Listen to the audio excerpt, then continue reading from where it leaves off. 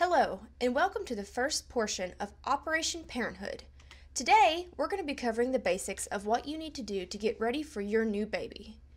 So, most likely, if you're here, you just saw this or you have seen this. So, what do you do next? You know, maybe this was a child that you'd planned for, maybe it wasn't. Maybe you're feeling happy and excited. Maybe you're feeling a little reluctant or scared. But what we're here to do today is to make sure that we can change those feelings into positive ones. So, the first thing you need to do is contact your healthcare professional. You need to make sure that you are, in fact, pregnant and that the positive test isn't just due to an influx of hormones. Next, you need to really check in on any medications you're taking.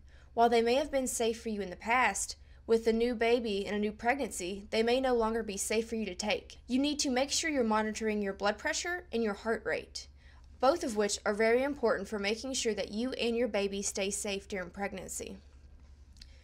So, what if you're adopting?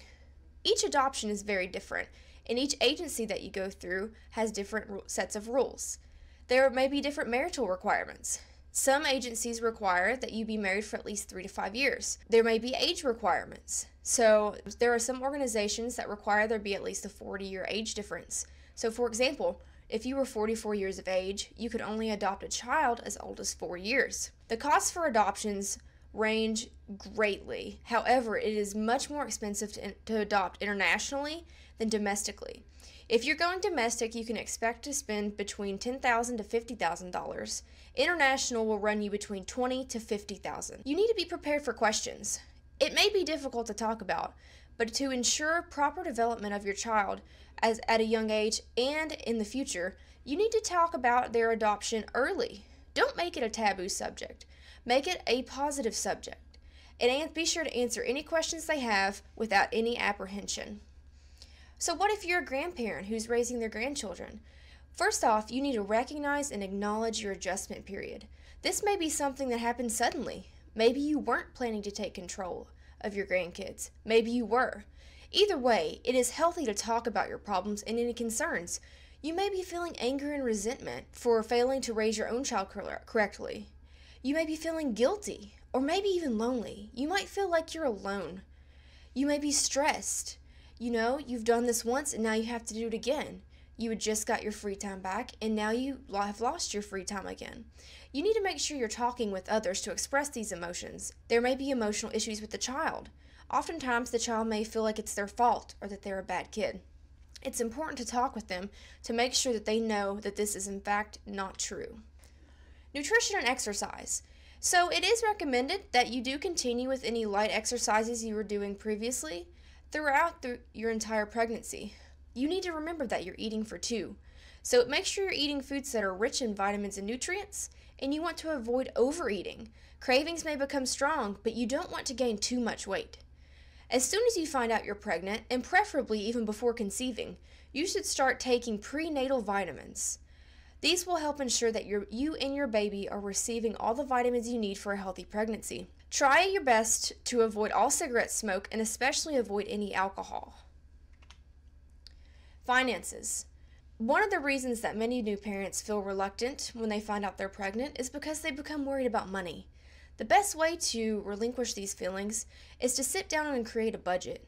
Make sure to include things like diapers and formulas and doctor's visits, and even hospital bills that you'll have to pay after delivery. Anticipate things early, so as soon as you find out you're pregnant, not later, go ahead and start saving money. Stock up on some diapers and other items like wipes that you know you'll be needing, and make big purchases over time. You may be excited to have your entire nursery built and put together, but cribs and changing tables, it all adds up. Try and spread out these big purchases over your pregnancy to make it less of a burden on your wallet. And make sure you don't forget yourself.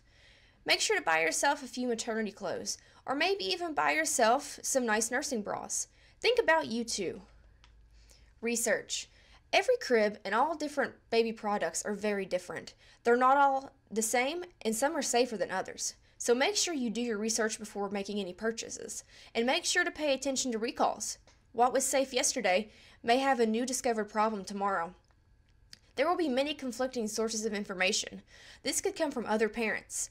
Every parent has their own style and way that they like to raise their children. Your parents, You know, maybe they raised you a certain way and they expect you to do something the same. Especially make sure you watch out for materials that are based on opinions and not facts. So, this includes sources such as Wikipedia and Google searches. You want to look for research based information. Childproofing. You're going to want to secure any top heavy furniture to your walls. Children will often start trying to pull up on these items, and you don't want them to tip over and fall on top of them. Cover up any electrical outlet plugs and secure drawers and cabinets that may have chemicals inside. Make sure to keep any dangerous items out of reach, such as curling irons or knives. Prepping for the big day. So you've waited your nine months, and the time is finally here. You want to make sure that you're ready. Have your go bag ready. This should include basic items such as shampoo, a change of clothes, maybe some comfortable slippers. You want to have a space for baby in order.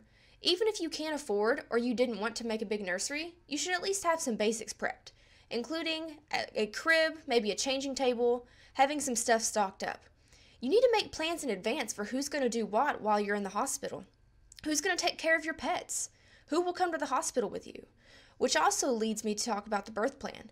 Make sure you talk to people in advance to let them know who you want to be in the room with you. You want to avoid any awkward situations and make your birth exactly as you'd like it to be.